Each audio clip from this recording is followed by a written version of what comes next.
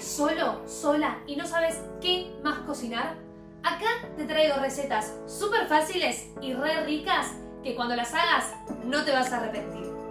Hoy vamos a empezar con un wok de verduras. Un wok de verduras, de verdad. Lo que vas a necesitar es cebolla, zapallito, zanahoria, morrón, zucchini, champiñones, arroz, salsa teriyaki y pollo.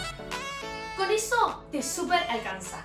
Pero para mí lo que le da el toque especial son las almendras que le dan algo crujiente, los condimentos que uses y salsa teriyaki. Ahora, ¿estás listo? Vamos a empezar. Primero cortamos la cebolla en tiritas. Juliana Plumas, chicos, no sé cómo se llama. O sea, claramente hago lo que puedo. Miren cómo agarro el cuchillo. Vamos a ponerle un poquito de aceite a la sartén. Yo uso oliva porque me gusta más. Prendemos el fuego a fuego lento, bajito.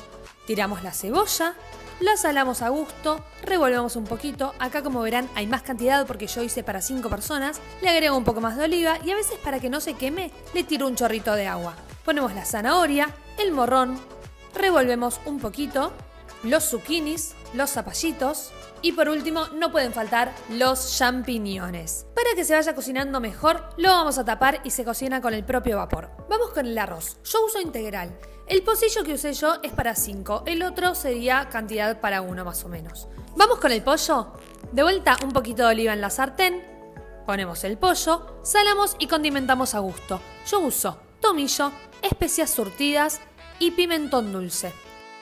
Hacemos lo mismo con las verduras. Tomillo, pimentón dulce, especias surtidas y laurel. Y por último, nuestro toque especial, las almendras. Las agregamos al final para que no se ablanden tanto. Cuando el pollo está blanquito, le agregamos la salsa teriyaki, revolvemos un poquito y ya está. Mezclamos el arroz y el pollo en la misma fuente y voilà, un wok súper rico y fácil de hacer.